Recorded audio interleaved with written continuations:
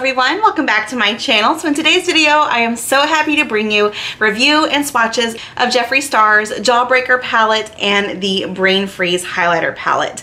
Um, now I knew right away when I saw these announced that I had to have them. The colors really drew me in and the packaging, I mean, come on, the packaging is excellent. Now you can purchase these items either on jeffreestarcosmetics.com or on Beautylish, which is how I purchased it. I just, I have a lot of trouble with Jeffree Star's um, shipping. So uh, I decided to go Beautylish this time and I had no issues whatsoever. So this palette right here runs for $58. The Brain Freeze palette runs for $40 and if I'm not mistaken the mini breaker runs for $28 now I did buy these as a bundle so I did save a little bit of money. This runs for $75 um, now I'm only reviewing these two today because this is going to be in today's giveaway but we will come to that a little bit later. So let's start with the Jawbreaker palette. Ah I love this collection. Um, as far as Jawbreaker candies you know I'm not really big on that but the Jawbreaker movie like that was my jam. Love that movie. Uh, so this is the outer packaging for the Jawbreaker palette. Really, really cute. Of course, it represents the actual Jawbreaker candy. Uh, on the back, you have the full list of ingredients. And of course, Jeffree Star is a cruelty-free brand. Hey guys, so this is my future self. I got so excited to get to the highlighter palette that I forgot to tell you Jeffree Star Cosmetics is vegan as well, so they use certain dyes that may or may not stain your lid. I just want to let you know I did have a couple issues with staining, mostly with the pinks, not really with the red, but these are just my fingers after the swatches. I have scrubbed them and it is not coming off, so I just wanted you to be aware. Um, I had a little bit of trouble with the purple, but just not as much as the pink, but I just wanted you guys to know, so yeah. Now, even though the outer packaging is white, the eyeshadow palette itself is pink, which I think is still super cute. Jeffree Star loves pink, so it definitely represents him very well. So you open it up and these are all your shades right here. Oh my goodness, aren't they so pretty?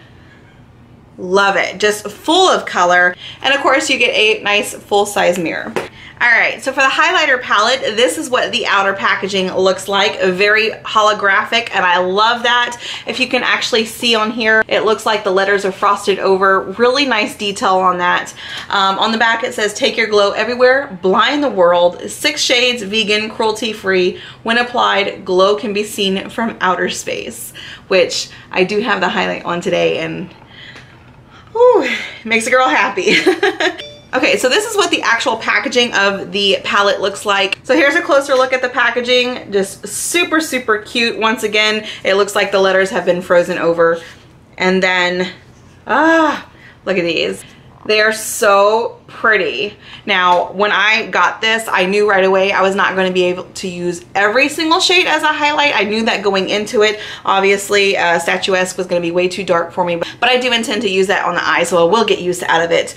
Uh, for me, this was just a better deal um, versus one highlighter but we're gonna get into all that a little bit later. So what I'm gonna do right now, because I have so much to swatch you guys, I'm gonna go ahead and do that really fast. So where I'm gonna swatch these first and I'm gonna go into the highlighters and then we will get into thoughts.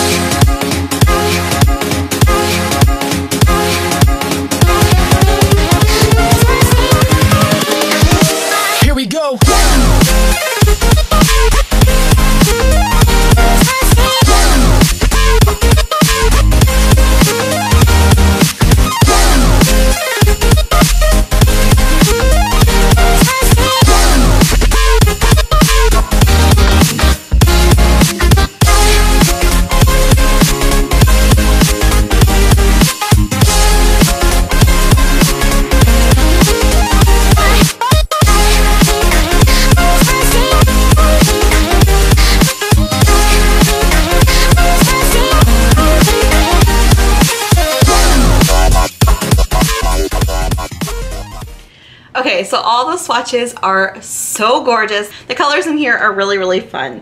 Um, now, what I actually have on my eyes today, I have Cone, Wow, Suck, Licorice, and Lemon Drop on my eyes. For my highlight, I did use the Gold Breaker uh, highlight.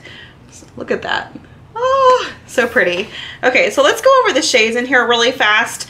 Um, I know if you guys watch me on Instagram, I did make an announcement that I was having a, a hard time with one of the shades and it was really, really frustrating. Um, that was actually the shade Gumdrop, this purple shade right here. Um, I'm going to go ahead and insert a picture kind of what it was looking like. Uh, it was just, it was patchy it just kind of blended away and disappeared. The more I blended it out, uh, it didn't really mesh well when I tried to pair it with the, the shimmer shade. It just was acting really funky and it just broke my heart because the swatches perfectly. I don't know if it was the brush that I was using. I don't know if it was the primer that I used. I did use a different primer on this eye look versus that eye look. Um, it just, it was very, very hard to work with. I don't know if I changed it, use a different primer, different brush, if it would have been easier. Did I eventually get it to work? Yes, but it literally took me two hours to do an halo eye because of that shade. And that's not, uh, it doesn't usually take me that long to do makeup. Um, so that shade for me is kind of, it's pretty, but I think it could be better. I've heard that pastels are really, really hard to uh, create. Um, I've seen a lot of palettes come out that were pastel palettes and they didn't really pass the test of a lot of influencers.